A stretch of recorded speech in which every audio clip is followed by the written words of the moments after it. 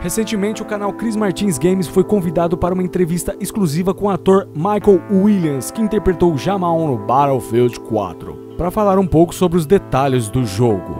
Foi difícil, rapaz.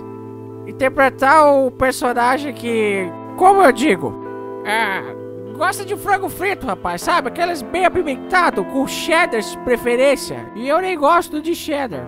Agora, assim, sobre o jogo em si, não foi uma coisa difícil. É uma coisa que eu já sou praticamente mestre. Eu já faço muitos jogos. Um deles eu esqueci o nome, mas foi bom. Uma coisa que eu fiquei chateada é que eu tive que interpretar o papel junto com os atores inexperientes. Eu também, também, eu comi muita pipoca da hora que eu não gosto, sabe? Eu acho irritante. Eu prefiro ser atropelado por um porco do que ver aquela cara de novo.